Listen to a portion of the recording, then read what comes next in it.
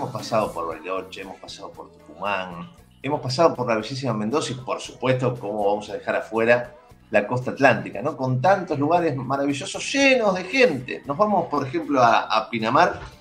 El secretario de Turismo es Juan Ibarguren, lo tenemos en línea. ¿Qué tal, Juan? ¿Cómo va? Gracias por atendernos en un día complicado. Gustavo, ¿cómo estás? No, gracias a vos por el espacio, la verdad que es un placer. Saludos a todos que están escuchando. Bueno, tapado de, trabajo, ¿no? Eh, lleno Pinamar de gente, por suerte. Sí, la verdad que muy contentos ha venido muchísima gente este fin de semana extra, extra largo que es Semana Santa, un, fin de semana muy importante para Pinamar y para todos los destinos turísticos del país, ¿no? Eh, y la verdad que el clima también está siendo muy bueno. Eh, ya estamos en 23 grados y, subiendo, la gente está disfrutando. Ayer también estuvo muy lindo y, también se pronostica que estos días que quedan van a estar muy lindos para poder disfrutar del bosque, de la playa y de todas las actividades que tenemos este fin de semana. Así que, es que, por supuesto, uno disfruta Pinamar en cualquier época del año, ¿no? En esta época a mí me gusta disfrutar el bosque, respirar, caminar.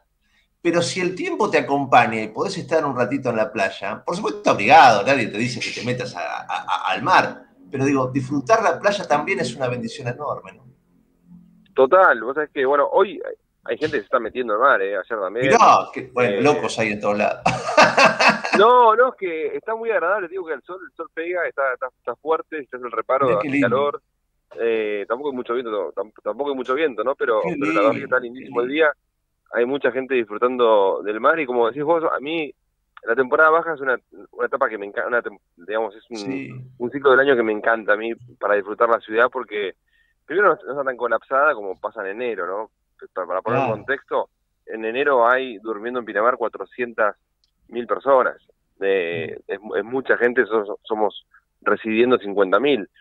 Y, y eh, durante el año viene mucha gente a visitarnos, cada vez la ciudad está más atractiva para venir porque somos más pinamarenses viviendo, hay muchos propietarios no residentes que a partir de la pandemia empezó a venir más seguido, eh, la ciudad empezó a tener una vida propia eh, todo el año y eso hace que esté más activa y, sea atractiva para venir a visitarla, ¿no? Entonces, eh, hay un movimiento muy lindo en la ciudad y uno la puede disfrutar de, de diferentes maneras cuando la disfruta en, enero, ¿no? Que, está muy la gente está muy enfocada en el mar, en la playa.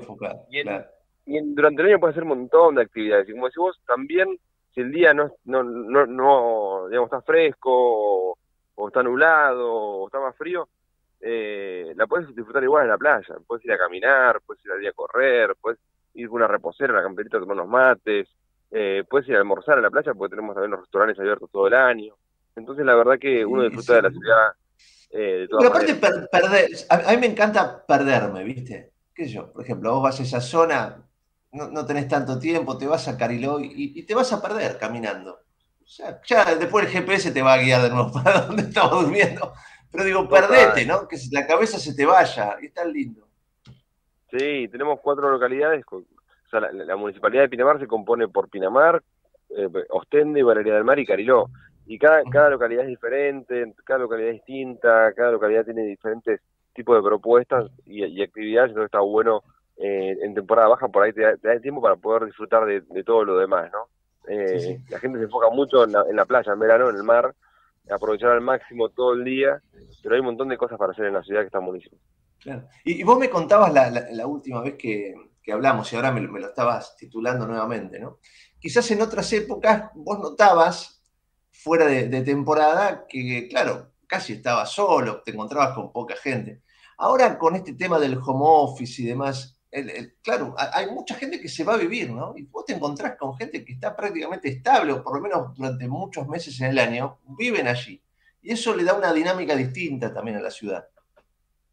Total, lo que pasa es que, bueno, yo soy de acá de, casi toda la vida, porque vine desde muy chico vivo en Pinamar, eh, y te digo que hace 25 años habían 20.000 personas nada más. Claro, y durante el invierno era una ciudad media fantasma, porque la gente estaba muy encerrada, no salía mucho, estaba esperando el verano, eh, el turista no venía porque, porque no había nada para hacer. Eh, y hoy en día ya somos 50.000 residentes en Pinamar. Hay muchos propietarios no residentes que vienen casi todos los fines de semana y aprovecha también toda la conectividad que tenemos. Tenemos todo el partido conectado con fibra óptica, entonces aprovechan los que pueden hacer teletrabajo y se quedan a trabajar más de un, o sea, se quedan el fin de semana y aprovechan dos o tres días en la semana para estirar ese, ese lapso de tiempo y poder eh, también disfrutar de la ciudad mientras puede trabajar. Eh, entonces se generó una demanda que empieza a enriquecer a la ciudad en todos los aspectos, ¿no? Hay, hay, hay más movida cultural, más movida nocturna, abren los restaurantes todo el año, los centros comerciales, empieza a haber más actividades para chicos, eh, para grandes también. Entonces, la verdad que, está buena la ciudad porque tenés un montón de cosas para hacer y, tiene una vida activa todo el año. Juan, un placer. Gracias por, atendernos en este día particular, ¿no? Es, bravo. Tenés mucho trabajo allí en la zona, así que gracias de corazón. No, no, de nada, un placer y los esperamos a todos eh, durante todo el año. Dale, dale, dale. Ahí estaremos dentro de poco. Juan Ibarguren, el secretario de Turismo de la bellísima Pinamar, disfrutable, como decía, durante todo el año, ¿no? Como Mar del Plata también, por supuesto. Cuando tenés eh, ganas de, pasarla bien, vas a encontrar en la Argentina cerca paraísos, disfrutables sin lugar a dudas.